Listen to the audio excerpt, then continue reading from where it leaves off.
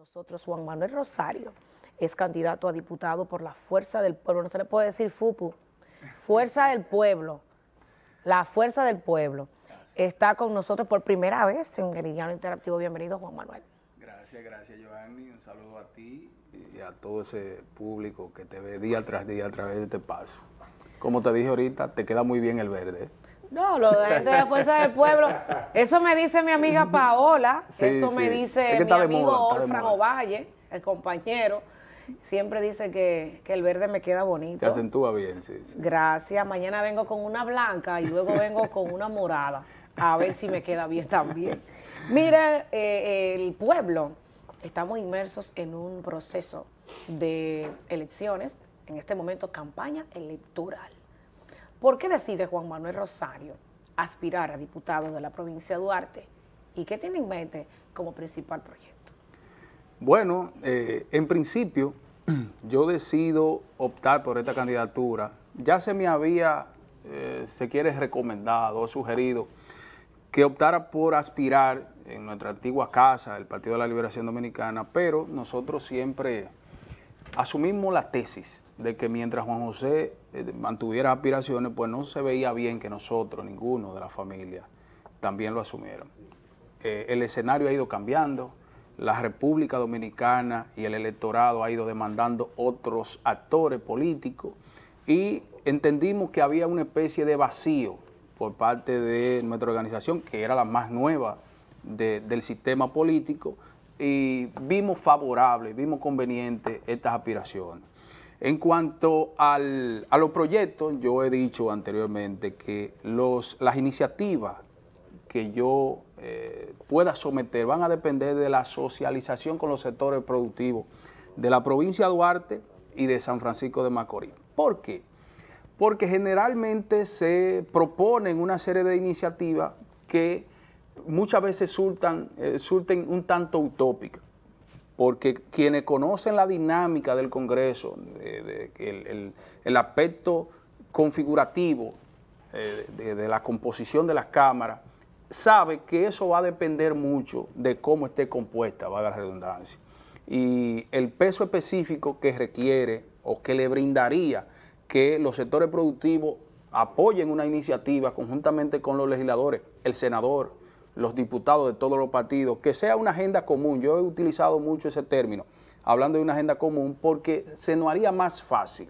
Tú sabes que las leyes, las leyes, son de carácter de, de- aplicación en todo el territorio nacional, no son jurisdiccionales, que se aplica a la provincia de Duarte, sino que se aplica en todo el territorio. Y eso eh, requiere que tenga el interés de los 190 diputados en este caso, porque hablamos de la Cámara Baja, y de los sobre- 32 senadores. Hablas en esa parte de una agenda en común. Eh, siempre ha criticado como que hay cinco diputados de la provincia de Duarte y actualmente no vemos proyectos en conjunto que el único fin debe ser aportar a su demarcación. ¿Qué entiende ha faltado? ¿Se ha apoderado el partidismo de este panorama cruel y real o entiende que hay factores que todavía no se han definido? ha faltado el interés común y ha gravitado las acciones particulares. Y yo pienso que mientras nos mantengamos asumiendo posiciones particulares, muchas veces con el interés de, generar algún nivel de protagonismo, vamos a decirlo así. Eh, y sí, ciertamente cada legislador quiere que eh, dejar su impronta, vamos a llamarle así, pero al final nosotros necesitamos un objetivo común y un resultado común. Y para eso necesitamos del esfuerzo de todo el mundo. Hemos notado una fuerza del pueblo muy tímida. Ayer hice referencia en medio de nuestro comentario. Una fuerza del pueblo que no es la fuerza del pueblo que dirige un líder, expresidente de la República. ¿Se ha dejado avasallar eh, la fuerza del pueblo por el oficialismo o, entienden que no hay posibilidad de, de obtener más? No, no necesariamente. Realmente hemos podido tener algún nivel de dinamismo, ¿verdad? Mayor que el que se tiene actualmente. Eh, cada territorio opera de acuerdo a su realidad. Y en sentido general, el presidente Fernández tuvo en, Sa- en- en Santo Domingo Norte en el fin de semana, se han estado haciendo varias actividades, estuvo en Monte Plata y vendrá aquí. Lo que pasa es que el resultado del proceso pasado nos mostró a nosotros que teníamos que orientar las acciones hacia otro ámbito y es precisamente el aspecto que tiene que ver con lo electoral.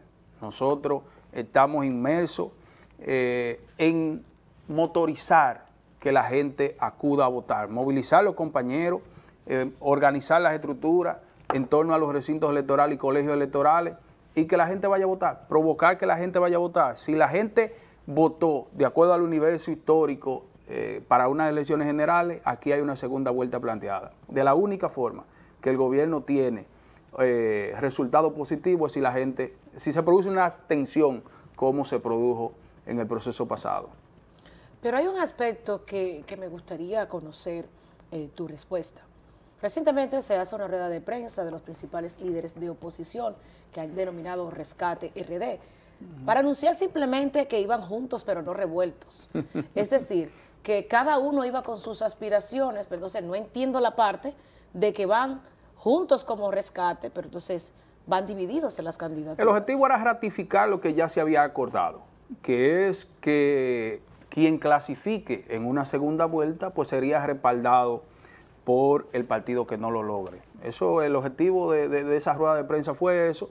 Yo sé que generó grandes expectativas en mucha gente, tanto en el PLD como en la Fuerza del Pueblo. Particularmente yo sí tuve claro desde un principio, yo participé en esa rueda de prensa, pero fui consciente de qué podía darse y qué no. Porque el PLD tiene una candidatura, tiene ya candidatura presidencial y vicepresidencial, tiene candidaturas a senadores, tiene candidaturas a diputados. Y cualquier fusión de, hacia una u otra parte, pues iba a perjudicar. Era, como dicen, más sal que chivo, vamos a decirlo así. O sea, no podía decomponer. El objetivo es que el PLD haga su trabajo, que movilice su gente, que lleve su gente a votar. Nosotros a hacer lo propio. ¿Por qué es que no han logrado? Ustedes le llaman viejo partido, vieja casa al PLD. Todos salieron de esa casa.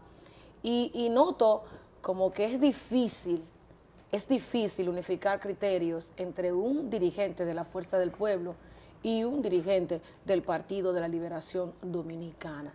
¿Qué es lo que pasa tan grave detrás de Bambalina que esos principales líderes no han logrado concitar y unificar criterios para poder enfrentar el oficialismo?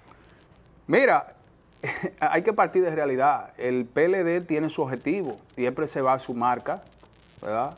Su, su, partido, vamos a llamarlo así. Nosotros estamos en la construcción de un partido, el partido más nuevo, te repito, un partido incipiente, en la, en la consolidación de esta organización. Y cada quien desarrolla una estrategia particular.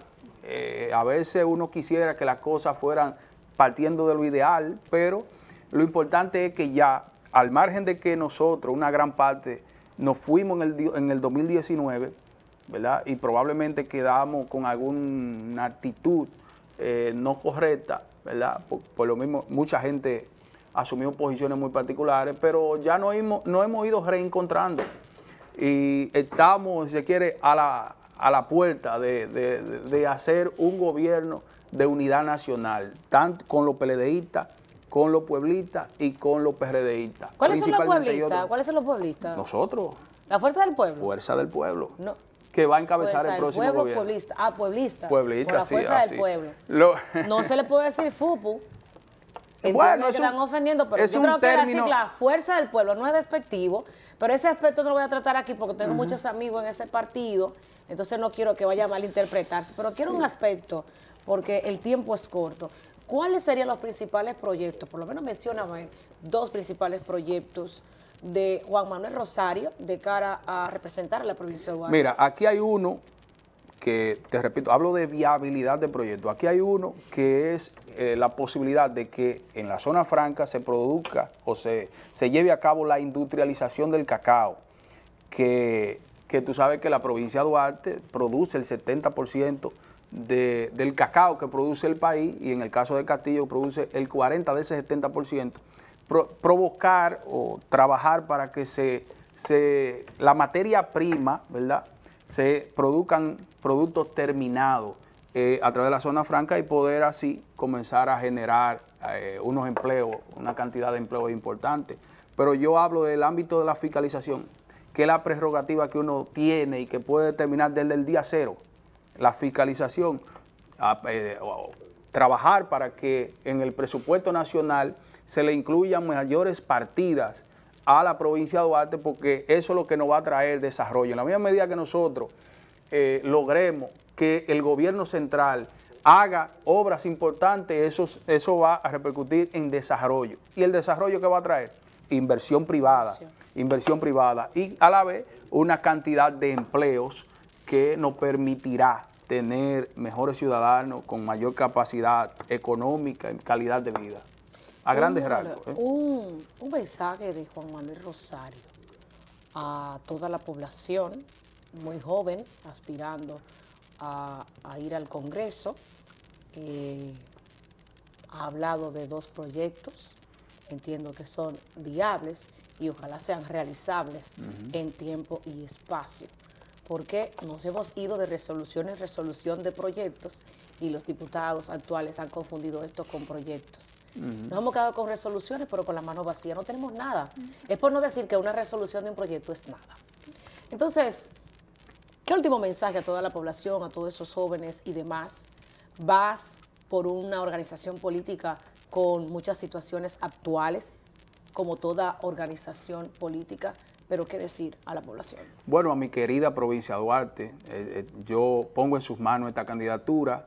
Es una candidatura que yo la he llamado como una opción de calidad, y digo, y hablo de calidad porque no solamente se estará sustentando en la asistencia social, sino que en el Congreso, en el hemiciclo, tendrán realmente, tendrá realmente la provincia de Duarte un verdadero vocero, un verdadero representante, asumiendo las posiciones que, que sean de interés para la provincia y trabajando arduamente para tener mayores y mejores condiciones. Que me den la oportunidad, espero que la gente salga a votar el próximo 19 de mayo y que marquen en la, en la casilla 3 el número 2 que se lo, se lo va a agradecer, Dios mediante. Un saludo al maestro, a mi ex maestro Juan José Rosario, yo sé que está ahí mirando a su pupilo en cámara. Yo le tengo miedo al maestro cuando da declaraciones, enérgico y categórico. Saludos allá. Gracias a Juan Manuel Rosario por estar con nosotros una entrevista de intercambio de ideas, más que buscar, como decía yo ayer, títulos virales, ¿eh? apelando a otros aspectos que no caracterizan a este programa. Señores.